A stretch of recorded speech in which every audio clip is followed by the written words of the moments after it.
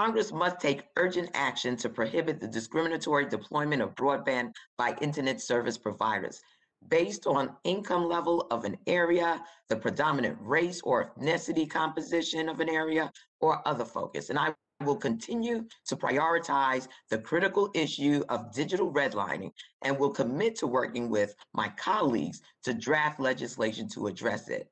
You know, the COVID 19 pandemic has only underscored the fact with rapid adoption of the virtual space that high speed, affordable broadband is a critical resource.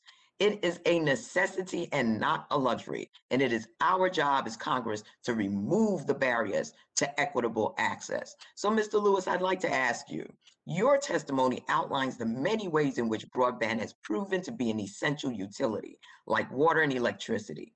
We are proud of the inclusion of the internet as a utility in the CARES Act and the FCC's recently launched EBB program. However, these are temporary solutions as the American people continue to recover from the coronavirus pandemic. How can the federal government establish a long term policy for ensuring equity access to affordable and high speed broadband? What we need to learn from the past, as we did with telecommunications uh, for the phone, we need to have a long-term uh, uh, benefit for low-income consumers uh, to have uh, supports to uh, be able to afford broadband.